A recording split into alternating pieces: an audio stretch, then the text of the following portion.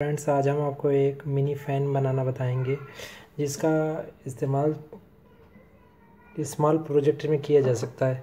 Friends ये है तीन वोल्ट की मोटर है डीसी मोटर है, जिसमें दो टर्मिनल है पॉजिटिव और निगेटिव और यहाँ से हमने एक वायर लिया, जो कि मोटर में कनेक्ट कर दिया है।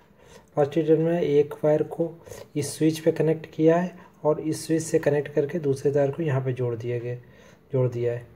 फ्रेंड्स ये है मेरा एक वुड का एक ब्लॉक है, जिस पे मैंने मोटर को फिक्स किया है और ये इसके ऊपर एम सील लगाई हुई है। एम सील लगा के छोड़ दिया और इसमें ये एक या दो घंटे में सेट हो जाती है। फ्रेंड्स ये इसका फ़ैन है। ये आपको किसी भी इलेक्ट्रॉनिक्स शॉप में ये मोटर और ये विंग्स उसका मिल जाएगा। फ्रेंड्स अब मैं इसको कनेक्ट कर देता हूँ।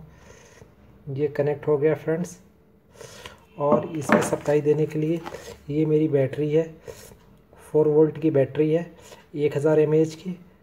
फ्रेंड्स, मैं अब इस बैटरी को इससे कनेक्ट कर देता हूँ।